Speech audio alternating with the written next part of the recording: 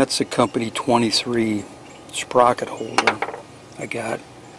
Goes in here to hold the sprocket. It's got a half inch drive.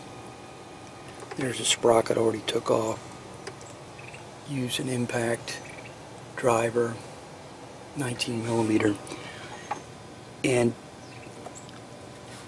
this would fit in here, but you'd have to flex the plastic way, way heck over. So, since this is an old car, a 94, I didn't want to bust this off and lose the timing mark. So, uh, I went through and ground this way down.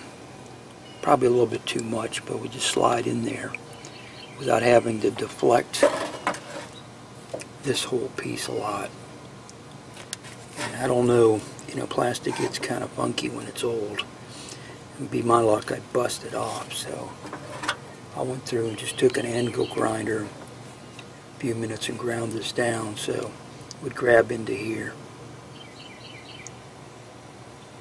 And then you hold that with a wrench so you're not going to, the sprocket will turn.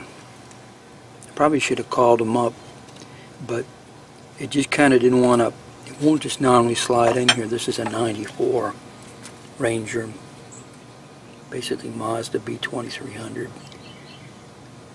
And I've worked with busting up stuff with plastic enough, I didn't want to bust the plastic, so this allowed me to get it in there. Kind of a design change.